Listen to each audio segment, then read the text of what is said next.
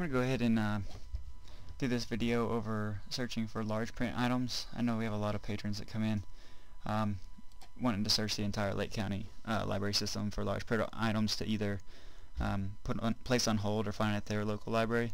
So what I'll do is show you where you can find that. Um, if you go to advanced search here, it's a little bit difficult to find at first, but once you know where it is, um, it's actually a really neat tool that you can use. Uh, usually what I do is I go down here to shelving location. So this is in the advanced search and you go down to shelving location tab.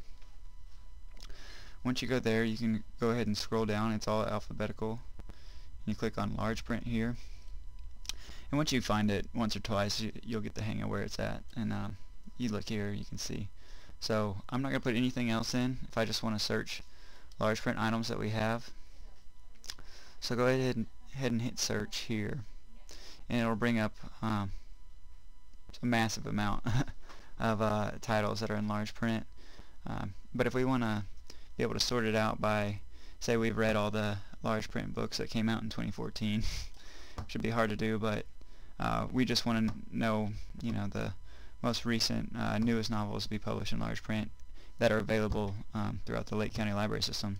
We go here to this relevant search, which we covered um, in a previous video and we go down to dates, publication, copyright, newest to oldest. If we click on that, um, I know it will return the first few results might be um, older books that yep the just doesn't have a publication date on it or the publication is run out but all you have to do is you'll just scroll down past a few of these first few here and then we'll get to the newest large print so if you look here we see St. Odd um, this Dean Koontz um, series that's come out.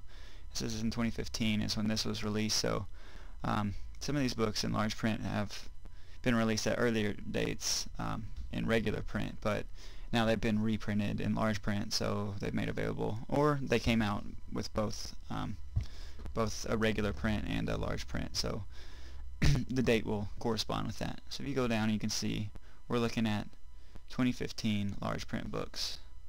2015 um, copyright. So you can see here this might be circa 2011 when it was originally printed in regular print and then reprinted in large print in 2015 this is where you can go and do that.